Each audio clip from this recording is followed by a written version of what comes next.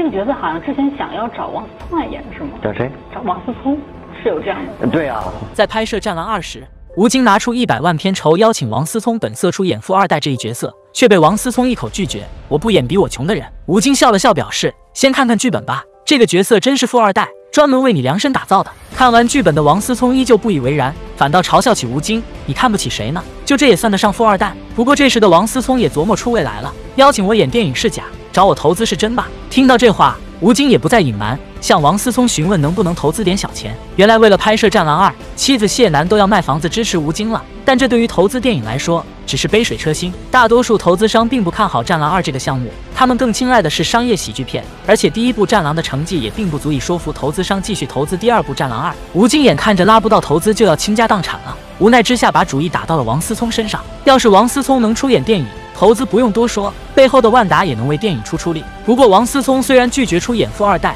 但却很爽快的投了四千万，这也稍微缓解了吴京的燃眉之急。之后《战狼二》顺利拍摄杀青，上映后短短十天票房突破四十亿，现在依然稳占第一的宝座。这些成果令当初那些拒绝投资的人目瞪口呆，后悔不迭。反倒是眼光独到的王思聪，凭着敏锐的商业头脑，狠狠地赚了八个亿。《战狼二》开拍时好不容易拉到投资，没想到投资商一句话让吴京立马翻脸。这是我女朋友，我投了我投了钱，你得用它。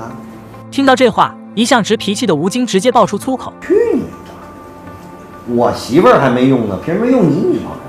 虽然《战狼二》当时拉不到资金，但吴京也不会用投资商的小女友。演技先不说，满脸科技的整容脸能让观众看一眼就出戏。之后，吴京选择了华裔女演员徐嘉雯，虽然知名度不高，但可塑性很强。只是没想到开拍前一天，徐嘉雯突然坐地起价，要求加价四十万。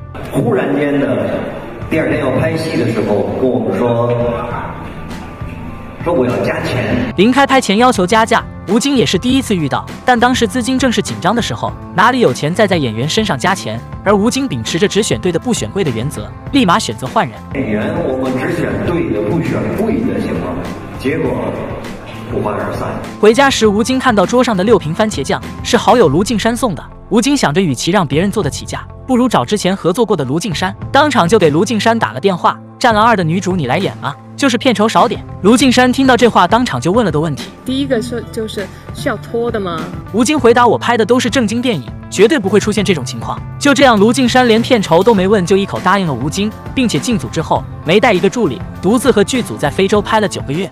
你只要喝得过我，我今天给你三倍的人工。那天晚上我喝了十七扎啤酒，三两白酒。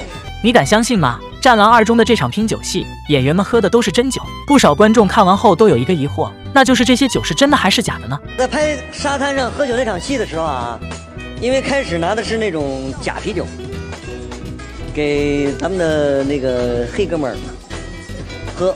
其实最初在拍摄第一场戏时，剧组的确安排的是假酒，啤酒是用茶加饮料勾兑，而白酒则直接用白水代替。在戏中，演员喝完酒需要吐出来，但是在拍第一条时，因为喝的是假酒，黑人演员完全吐不出来，一点看不出来有喝酒后的反应。于是演员找到吴京要求喝真酒，并表示自己酒量很好，让吴京多准备些。吴京也来劲了，当即和演员打赌，如果他能喝赢自己，就给他三倍工资。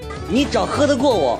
我今天给你三倍的人工。于是他们便开始了一场戏里戏外相同的比拼。黑人演员更是卯足了劲灌酒，啤酒还好，当他喝到白酒时，第一口白酒就让他狼狈不堪。当真的给他白酒的时候，那个表情不是演的，哥们儿那是真的。而吴京当晚更是喝下了三两白酒加十七扎啤酒。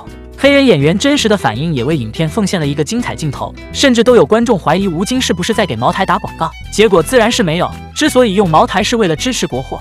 这是下我进的钱没收，咱们用的全都是国货。